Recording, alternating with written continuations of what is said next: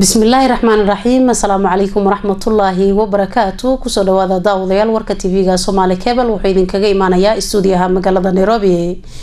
Magacaygu waa intisaar saale xuseen. Qodobada warkayaga waxaa ka mid ah wasiirka xanaanada xoolaha dhirta iyo daaqa xukuumadda soomaaliya oo maanta baarlamanka horgeeyay sharciga xanaanada xoolaha wasiiro iyo xildhibaano ka tirsan baarlamanka soomaaliya oo maanta gaaray magaalada beledweyne ee xarunta gobolka hiiraan kuwaasoo ka qeybgeli doono shirka wadatashiga ee ka furmaya magaaladaasi. Siyaasiyiinta mucaaradka dalkani kenya oo ugu baaqay madaxweynaha dalka kenya in ciidamada kenya laga soo saaro gudaha dalka soomaaliya. Ugu yaraan konton ruux ayaa ku geeriyootay qarax weyn oo ka dhacay magaalada dimishqi ee dalka suuriya kulanti wanaagsan daawadayaal mar kale ku soo dhawaada qodobadii oo faahfaahsan. Wasiirka xanaanada xoolaha dhirta iyo daaqa xukuumadda federaalk soomaaliya ayaa maanta baarlamanka horgeeyay sharciga xanaanada xoolaha sida warbixintan ay noogu soo dirayso waryaheena zaynab maxamed aadan oo ku sugan magaalada muqdisho. Kulanka baarlamanka soomaaliya ay yeesheen ayaa waxaa horyimid wasiirka wasaaradda xanaanada xoolaha ee xukuumadda soomaaliya kaa oo baarlamanka ka horjeediyey aqrinta koowaad ee sharciga xanaanada xoolaha. Markii uu wasiirku dhameeyey aqrinta koowaad ee sharciga ayaa waxaa qaar ka mid ah xildhibaanada baarlamanka soomaaliya ay weydiiyeen su'aalo. Su'aashaan haddaan hore waxaanu la socnaa macalin wasiir inay jiraan cuduro cuduradaas oo ah cuduro faafa ka mid ah. Dadka iyo xoolahana ku dhaca oo la yidhaahdo zoonosis cudurrada zoonosiska la yidhaahdo oo runtii yacni isku gudba xoolahana ay gudbiyaan dadkana ay u gudbiyaan waana ka mid tahay weliba meelaha aad iyo aad runtii ay iskana kaashadaan wasaaradda caafimaadka iyo wasaaradda xanaanada xoolaha. Loona baahanya runtii aad iyo aad taxadda dheeraada laga yeesho qaristooda iyo hakinteeda arrimahaas maxaa qorsho ah ee cudurrada zoonosiska ku aadan arrimahan hadda warbixinta caafimaadka iyo xakamaynta iyo hakinta cudurrada zoonosiska oo qorsho idinkaga yahay afar iyo toban milyan oo neef ayaa lagu dhoofiyey soomaaliya beri ama saakabada dukumentigii waa nii keenaynaa meesha waxaan rabaa waxaan rabaa marka hoos inaan ka lacagtaasayto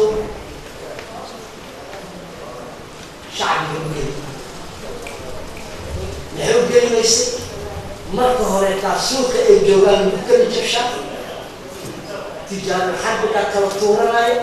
waa soo qaadanayaan nin carabaa loo keenaya maxjaraan furanayaa u dhahay halkaasaa maxjarka laga furaya cooska annagaana laga qaadaya beenbeen kaleta lacagta laga qaadaya waxaa dhacda xoolaheen in soomaaliya inti laga qaado maxjar jabuuti ku yaala lakeeda coosna malaha cooskii annagaana laga qaadaya maxjarkiina jabuuti ku yaalla maaha walaalaha jabuuti inaan dhaliilaa xaaladda sideed tahay inaan iniinta taabto ayaan jeclahay intaa kadib ayaa wasiirka wasaaradda xanaanada xoolaha ee xukuumadda soomaaliya saciid xuseen ciid waxa uu ka jawaab celiyey su'aalihii ay weydiiyeen qaar ka mid ah xildhibaanada baarlamanka soomaaliya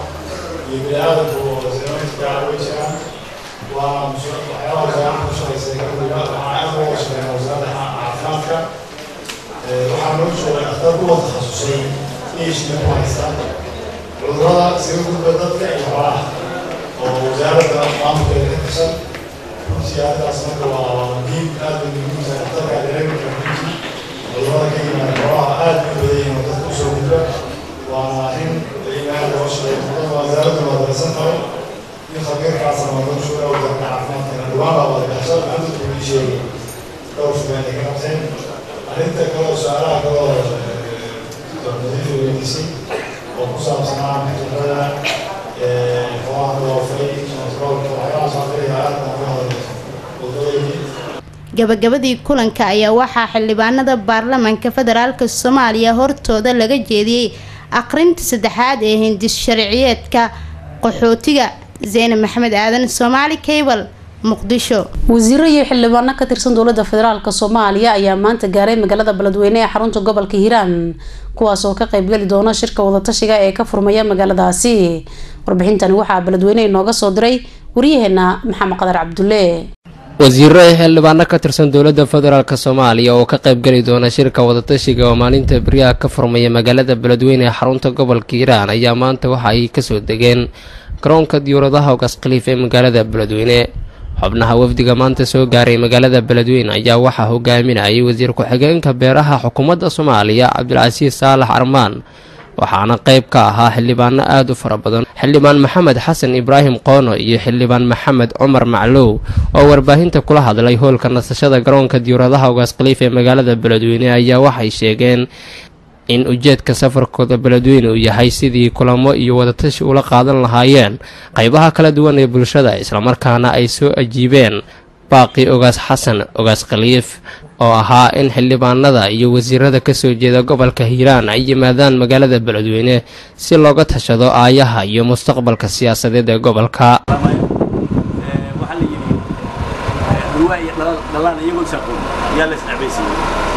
Anaga had waxaan u nimiday wicitaanka ujeedada safarkeenu iyo wicitaanka dhaqanka ee nawceen inaan soo ajiibno oo ugaas xasan ugaas khaliif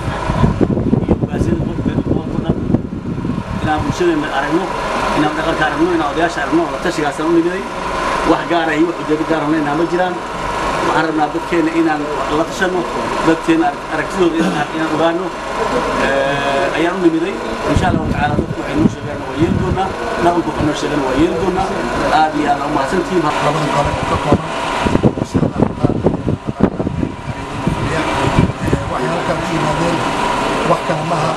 waa dagaalkoodii inay soo booqdaan dadkooda inay soo booqdaan inay watashiya la sameyn sidii saacadkii uu yidhi xildhibaan jeeso yidhi waa xilligii ku habboona inaan u imaano dadkeena u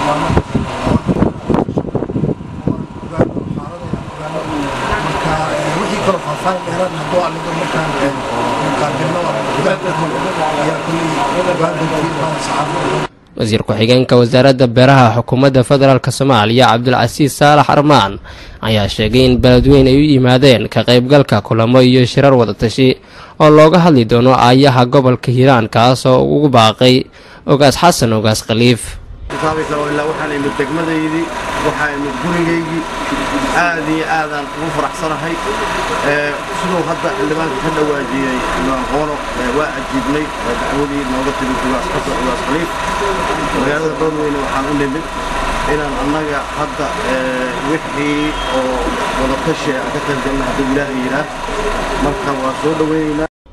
imaanshaha wafdigan ka hor waxaa beledweyn gelinkii dambe ee shalay soo gaaray wasiirka amniga gudaha cabdirasaaq cumar maxamed iyadoo beledweyne ay ku sugan yihiin xildhibaano siyaasiyiin iyo xubno kale oo aada u fara badan maxamed qadar cabdulle soomaali cable t v beledweyn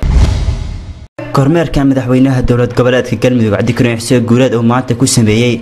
xeryo ay ku jiraan ciidamada koob iyo labaatanaad ee xoogga dalka ayaa waxaa ku weheliyey. Wasiirka amniga iyo qaar ka mid a saraakiisha ciidanka xoogga dalka kormeerka kadib ayaa waxaa warbaahinta la hadlay wasiirka amniga dowlad goboleedka galmudug cismaan ciise nuur taardhuleed iyo ammaanduulaha ciidanka koob iyo labaatanaad ee xoogga dalka cabdulaahi aadan xuseen korneel ciro sida idin sheegay korneel ciro waxaan maanta ugu soconnay inaan indhendheyno xeryaha ciidamada. Hadday ay tahay kooylaatanaad hore iyo hadday tahay ciidamada hadda galmudug ay ku biirisay kooylaatanaad intaba. Waan kaga mahad celinaynaa xaqiiqdii sida aad u soo diyaargarowdeen waana soo dhaweynaynaa wararka inta badan madaxweynaha idin dhihi doona haddii lahadma laakiin waxaan u malaynayaa waxaan ku ballansanayn kowda bisha febraayo in ciidankii boqol konton iyo saddexda ahaa uu ku wareego qaybta koob iyo labaatanaad. Waana maanta hawshaasuna waxay qayb ka tahay hawlihii aan hore u wadno ahaa ciidamada toddoba boqol iyo samtiga ah oo qaatay mushaarka inay ku wareegaan gacanta taliska qaybta koob iyo labaatanaad. Iyaga iyo saraakiisha intuba si aan dib ugu helno ciidamada kale ee haddii ilahay ku roon yahay soo haray aan jaanis ugu helno inaan aruurno. Wax yar kuu saro qaybta koob iyo labaatanaad waxay hadda ka kooban tahay guutada tobanaad ee gobolka hiiraan guud ahaan ka howlgasha iyo guutada koob iyo tobnaad ee gobolka galgaduud iyo mudug ka howlgasha iyo taliska qaybta koob iyo labaatanaad. Sidoo kale ururka xoojinta ee ceelbuur ka howlgala isagana qaybta ayuu ka mid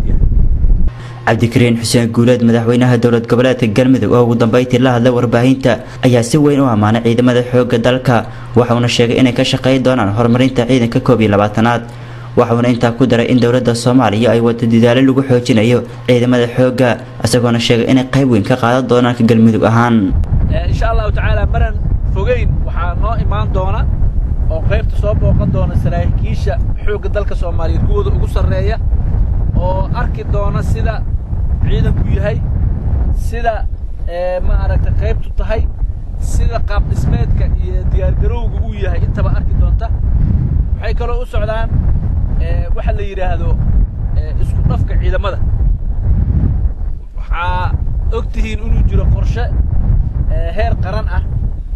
oo la rabo in ciidankii xoogga dalka soomaaliyeed dib loogu soo dhiso dib loo mideeyo si ciidanku uu noqdo ciidan leh muuqaal qaran waxaa muuqaal qaran laga wadaa hadda ciidanka xoogga dalka soomaaliyeed qaybta kow iyo labaatanaad. Waa ciidan ka soo jeeda dadka gobollada dhexe u dhashay. Laakiin sida la rabo waxay tahay in ciidankan lagu dhafo ciidamada kale ee ka soo jeeda gobollada kale soomaaliya siddeed iyo tobanka gobola taas waxay noo suuragelinaysaa in ciidanku uu yeesho marka muuqaal qaran oo halka unug iyo halka horin iyo halka koox iyo ilaa iyo meesha u dambayso ah halka gaas. Uu noqdo gaas soomaaliya oo dhan qaybaheeda kala duwan. Ka kooban sidii la arki jiray oo ciidamadu ay ahaan jireen. Taa marka waxay ku imaan kartaa horta isku dhafka ciidamada gobollada dhexe ee xoogga dalka soomaaliyed u wada abtirsanaya marka hore in isku dhafkooda la xoojiyo. Oo ayaga la isku dhafo. Oo ayaga marka la isku dhafo haddana qaybta kaleeto kontoni afraad lagu dhafo oo qaybta kaleeto maaragtay lixdanaad lagu dhafo oo labayo tobanaad qaybta labayo tobanaad lagu saasay marka wuxuu ku imaan karaa ciidan midaysan oo dhammaan soomaaliya oo dhan ka kooban oo muuqaal qaran leh sidaasuu ku imaan karaa. Sidaas wuxuu ku imaan karaa ciidankii soomaaliya midnimadeeda iyo wadajirkeeda hanan lahaa hayna lahaa difaaceeda iyo maaragtay xoojin lahaa sidaas ayuu ku imaan karaa. Waxaan rabaa annaga haddaan nahay galmudug waxaan diyaar u nahay una taagannahay sidii ciidankaani loo tayeen lahaa sidii loo xoojin lahaa sidii waajibaadka qaran ee dusha ka saaran uu u gudan lahaa ayaan u taagannahay waxaan ogahay in xoogaa saluuga dhankeenna uu maaragtay idinkaga jiro oo aad leedihiin war reer galmudug. Maleeshiyaadkoodii iyo daraawiishtoodii iyo ciidamadoodii gaarka ahaa ayay ku mashquuleen mubaarak maxamuud aadan soomaali cable siyaasiyiinta mucaaradka ee dalkani kenya ayaa madaxweynaha dalkani kenya uhuru kenyatta waxa ay ka codsadeen in ciidamada kenya uu ka soo saaro gudaha dalka soomaaliya. Warbixintani waxaa inoo eegaya wariyaheena cabdishakuur faarax cigale gudoomiyaha deegaanka boomad isaaq ruuto oo ka mid ah siyaasiyiinta mucaaradka dalkani kenya ayaa madaxweynaha kenya uhuru kenyatta ugu baaqay inuu ciidamada kenya ee ku sugan soomaaliya dib ugu soo celiyo dalkooda isaaq ruuto iyo xildhibaan ka tirsan baarlamaanka kenya zakayata ayaa si wadajir ah u sheegay in askar badan oo ciidamada kenya ka mid ah ay ku dhinteen soomaaliya. Tan iyo intii uu bilowday howlgalka kenya ay ku gashay gudaha soomaaliya kaasoo bilowday bishii oktoobar labada kun iyo kow iyo tobankii. Isaaq ruuto iyo mudanaha baarlamaanka kenya ayaa sheegay in baarlamaanka soomaaliya kulan hadda ka hor ay yeesheen ay ka dalbadeen dowladda kenya in ciidamadeeda ay kala baxdo dalka soomaaliya. Siyaasiyiintan mucaaradka ah ayaa dowladda kenya ka dalbaday in shacabka ay u soo bandhigaan tirada askarta kenya ee ku geeriyootay weerarkii kooxda al-shabaab ay ku qaadeen xerada ciidamada kenya ee deegaanka ceelcadde ee gobolka gado. Dowladda kenya ayaa ilaa iyo hadda si rasmi ah u sheegin tirada guud ee askarta kaga dhimatay weerarkii ceelcadde iyadoona qoysaska ay ka soo jeedaan askartaasi ay dalbanayaan in dowladda ay ka soo waranto xaaladda askartaasi.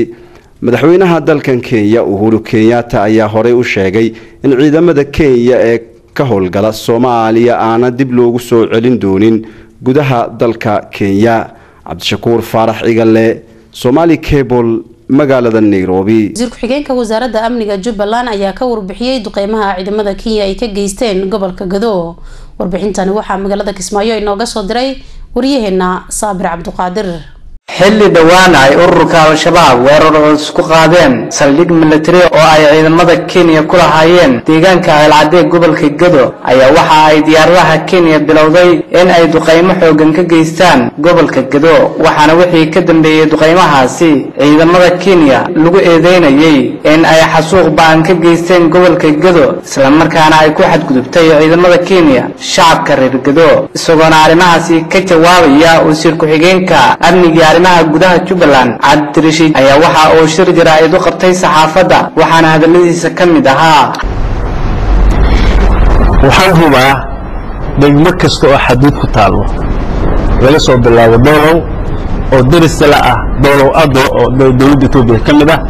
bulaxa oo ku soo xigto oo darisla ah mandheera oo dalka kenya ka mid ah qaybna ka ah etoobiya oo suuf ah. Waxaa ku soo xigta ceelwaaq oo qayb ka ah ceelqalow oo dhinaca dowladda kenya ah dhinacna soomaaliya oo ceelwaaq soomaaliya ah waxaa ku xigta dhuubley oo dhinacna midooda kenya ay tahay dhinacna soomaaliya ay tahay. Qof kasta oo degmada kale ku nool wuxuu dalka leeyahay degmadan kaleto ama soomaaliya ama kenya subax marku waaga baryo ma rabno marka in shacabkayaga iyo dadkayaga dad ka maqan oo bannaanka joogo dhibaato ay abuureen dilwilyaal looga dhigo ma rabno intaan aamusno in nagala dhigo? Waxay soomaalidu dhihi jirtay gabar in aamuskaa lagu weheriyaa oo annagoo arkayno shacabkayagii iyo dowlado kale oo daris aan nahay in la isku diro maalin kasta oo dab lagu dhajiyo. Shalayba ahayd markii aan maalmo kahor bil ka hor bay ahayd markii laba bilood ka hor bay ahayd markii buulaxaawo iyo mandheera caqabad iyo dhibaato la dhex dhigay labada gofti oo ka kooban dowladda jubbaland iyo dowladda dhexe oo dalka ay wada tegahayeen oo wixii laga hadlahayay ay been noqotay. Ee caddaatay wixii laga hadlahayay oo shacabka iyo la iskugu dirahayay shacabka soomaaliyeed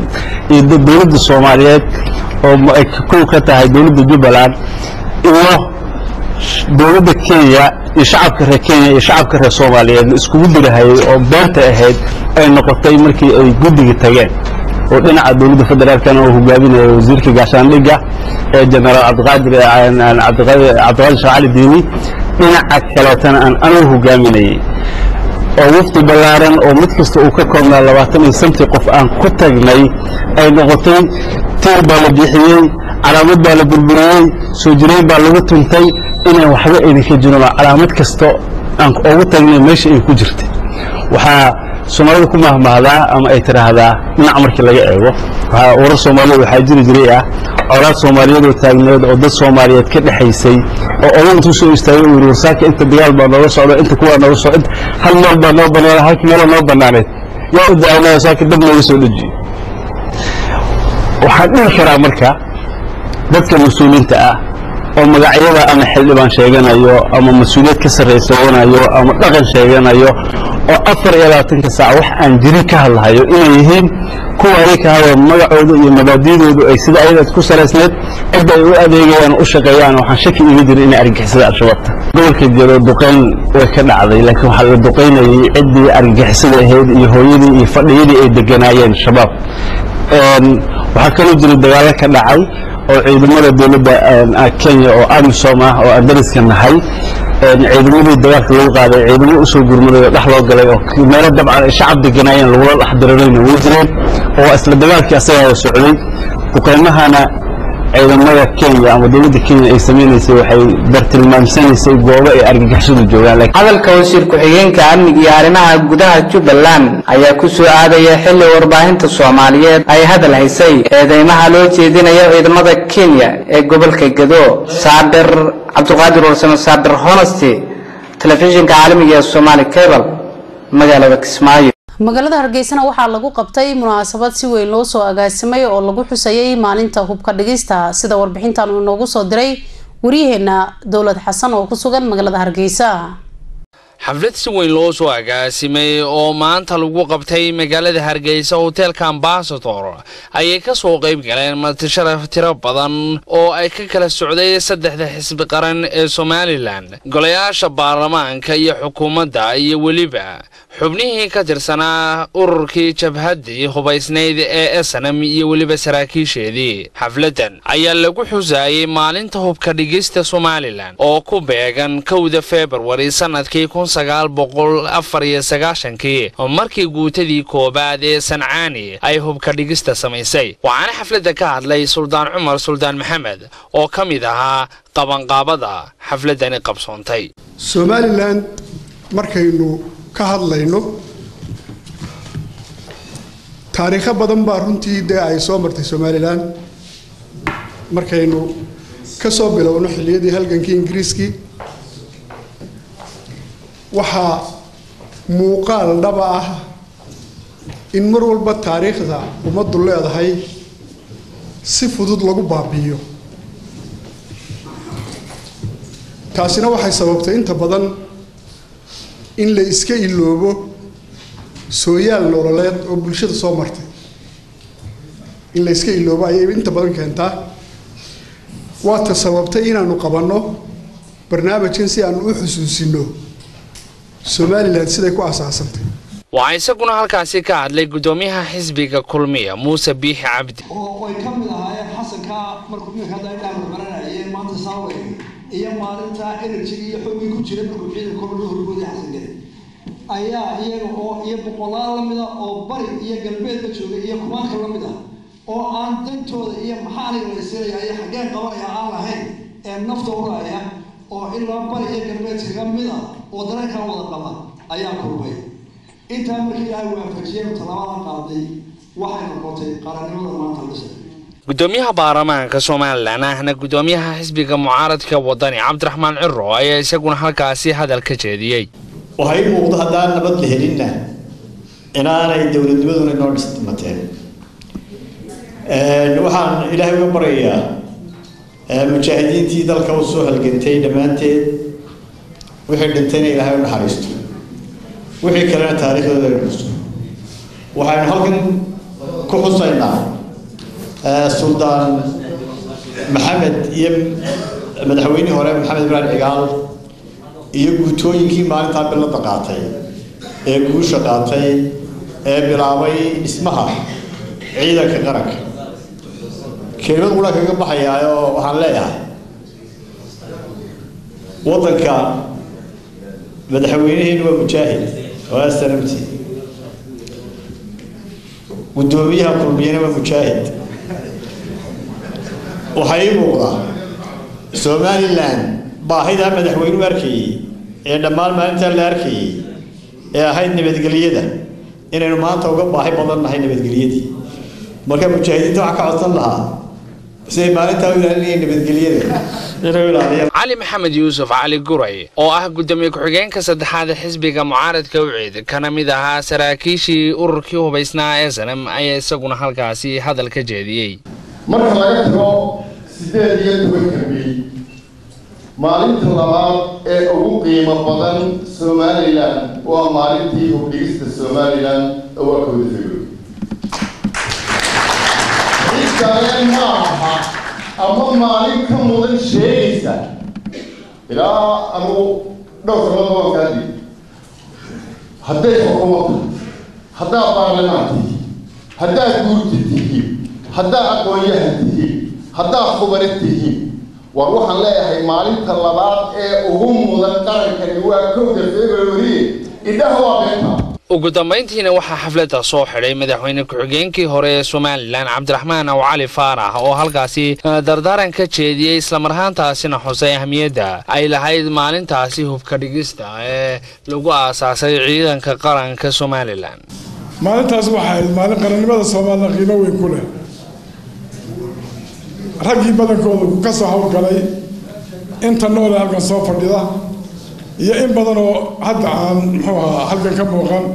oo inaga hooseysaaba way jirtaa naxariistii iyo bacdaha ka waraabiyey waxa weeye horta gadaal baan iyalu noqonayaa waxa weeye hubka dhigistu goormay timaadaa. Waxay timaadaa markuu dagaal ahli meel ka dhaco. Iska hor imaan yimaado la isdilo dib u heshiisiin la sameeyo markaasuu yimaadaa esna markay dalka soo galaysa taleedu waxayd inay markay soo gasho ummadda halkaa ay ugu timaado aan aargudasho la sii wadine ummaddu iyada ka soo horjeeday iyo snamtu ay heshiiyaan. Oo dib u heshiisiin la hirgeliyo. Bishii february iyo sagaashankii iyaa sagaal iyaa lagu sameeyey muxuu ahaa xabad joojintii cabdiqani xasan cilmi dowlad telefishinka caalamiga ee somaali cable t v magaalada hargeysa. Kulan looga soo horjeedo dhaqdhaqaaqyada ciidamada somalilan ee ay ka wadaan gobolka cayn ayaa lagu qabtay magaalada rotterdam ee dalka holland. Warbixintani waxaa inoo soo diray wariyaheena cabdikariin cabdi ismaaciil oo ku sugan dalka holland kulan looga soo horjeeda dhaqdhaqaaqa ay ka wadaan ciidamada somalilan gobolka cayn ayna ka soo qayb galeen. Qaar ka mid a jaaliyadaha soomaaliyeed iyo kuwa ayagu ka soo jeeda gobollada sool sanaag iyo cayn ayaa lagu qabtay magaalada rotterdam ee dalka holland. Dadka ka soo qayb galay kulanka ayaa tacsi u diray dadkii ku dhintay shaqaaqada gobolka cayn waxayna ka codsadeen in ay somalilan kala baxdo ciidamadeeda. Soomaalinimada gadaal lagu noqdo waxaan xasuustaa soomaaliya hadda waa iska reer reer reerkan la xasuuqayo waa reerka ugu wadanaysan soomaaliya marka xaqiiqada laga hadlo way dadku laynaysa maxay galabsadaan dadka aniga iyo ogolo af maaha kuma ogolo igamana adkaanaysid marna igama adkaanaysid waxaa iska dhaadhic inaad iga adkaanaysid isugu yimid roordiiqdan loo sameynayo dadkii lagu xasuuqay sool iyo sanaag iyo cayn marka sidaas darteed anigu waxaan u dirayaa tacsiyo. Dadkii meesha lagu laayay heladoodii annagoo aada uga xun dhiig soomaaliyeed oo lagu daadiyo qof soomaaliya gacantiisa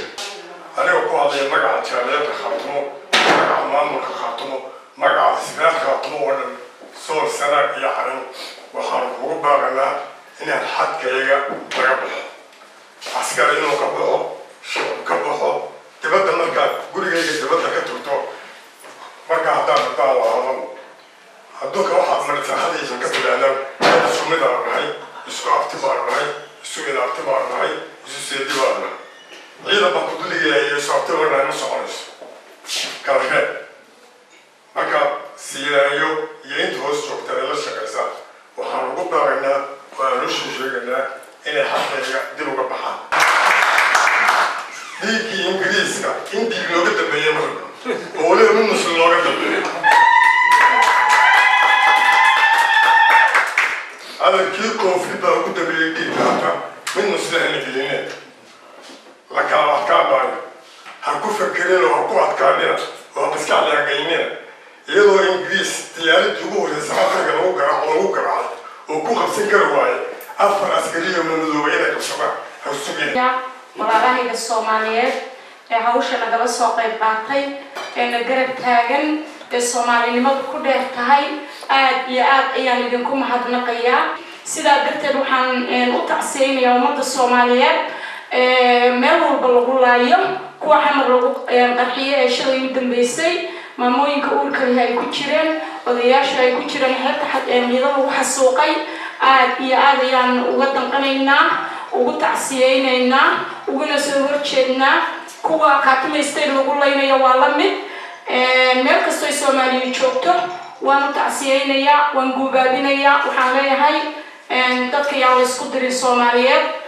yaa la isu bahalogelin sidoo kale waxay gebi ahaanba gaashaanka u daruureen nidaamka four point five oo ay sheegeen inaysan soomaaliya dib ugu horreyn.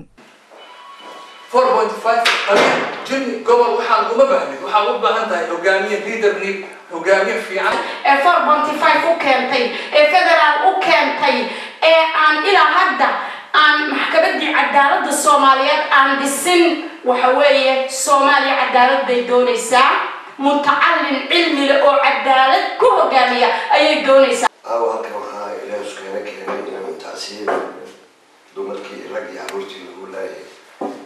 sool sanaag iyo cayn ilaahay subxaana wa tacaala waxaan ka baryaynaa inuu jannada firdowsa ka waraabiyo ingiriis ma iman laascaanood ya waxay malolku midoodaya ingiriis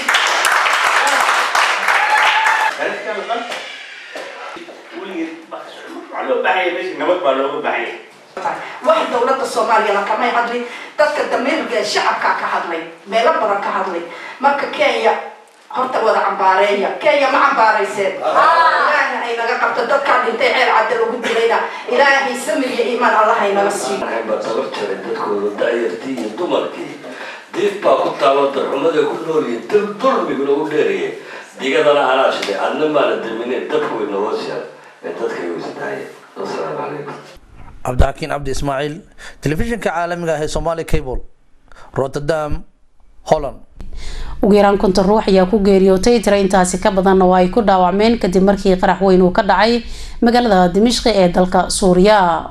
ugu yaraan konton ruux ayaa ku dhimatay qarax weyn oo ka dhacay magaalada dimishqi ee xarunta dalka suuriya. Tira intaasi ka badanna waa ay ku dhaawacmeen iyadoo mas'uuliyiinta ururka midooda yurub ay si aada u cambaarayeen qaraxaasi waxayna ku tilmaameen mid lagu carqaladeynayo wadahadalada u socda dhinacyada isku haya dalkaasi. Qaraxyada khasaaraha geysta ayaa ka dhacay meel u dhow goob ay dadka shiicada ay ku cibaadeystaan iyadoo dadka ku dhintay qaraxaasina la sheegay inay ahaayeen dad shacab ah ergeyga jamciyadda quruumaha ka dhexeysa uga wakiilka ah arrimaha suuriya stephen demastura ayaa la filayaa in maanta oo isniin ah uu wadahadallo la yeesho dhinaca matalaya dowladda suuriya kadibna uu la kulmo mucaaradka dalkaasi dhanka kale xogayaha arrimaha dibadda mareykanka john kerry ayaa ugu baaqay in labada dhinac isku haya dalka suuriya ay ka faa-iideystaan fursadda lagu soo afjarayo colaadaha ka dhexeeya aada buu u mahadsan yahay kaasi wuxuu ahaa waryaheena saalim salaad doore oo nala socodsiinayay wararkii dalka britain. War wixii caalamka inaga soo gaaray oo aad kala socoteen tv-ga somaali cable xaruntiisa magaalada nairobi waa naga intaa warka waxaa idinla socodsiinaysay anigoo intisaar saale xuseen ah anigii dhammaan baada warka igala qayb qaadatay dhammaanteen waxaan idinkaga tegaynaa. Sidaas iyo nabadgelyo wasalaamu calaykum waraxmatullaahi tacaala wabarakaatu